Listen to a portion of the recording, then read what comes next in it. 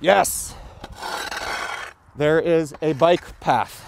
To get the same satisfaction as Brian Wilson, we'll need to take you through his workout. So I was down on Colfax yesterday in front of a gym, and somebody came out and thanked me.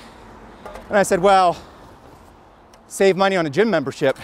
The path he spent more than an hour clearing today I might give up on this little ridge until I can get some ice melt. is not his responsibility. And it's still difficult to see, but this is the brand new curb that was added for the Garfield Street neighborhood bikeway. There's supposed to be a ramp right here. This was his ride That's this morning. new? If he followed the arrows guiding the path of the bikeway that goes from City Park to the Cherry Creek Trail, it would not end well. The question I have for the city is yeah, this is great infrastructure, but who's supposed to clear this when it does snow? The city's Department of Transportation spokeswoman ignored three requests for an interview today while providing answers via text message.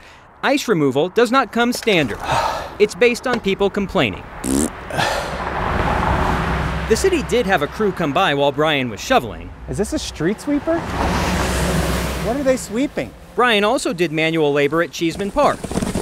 Check out the space between the barriers before And so I just cleared it all out of here. and after his work. He also spent time clearing curb cuts, you know, where the sidewalk ends, at different parts of 12th Avenue and at Colfax and Steele. But that little area at Colfax and Steele, I feel like that took two hours or more. The Department of Transportation spokeswoman said property owners are to clear snow and ice from their sidewalks, including adjacent ADA ramps, though Brian has an idea to consider. So let's say I report this and get a case number. Then separately, I clear it and then report that I cleared it with the same case number. And then they can set up a way to just pay people like once a month for doing that. That city paycheck would come in handy, given how Brian ends his workout. And I usually go to like a nearby watering hole and have a few and recharge for the next day.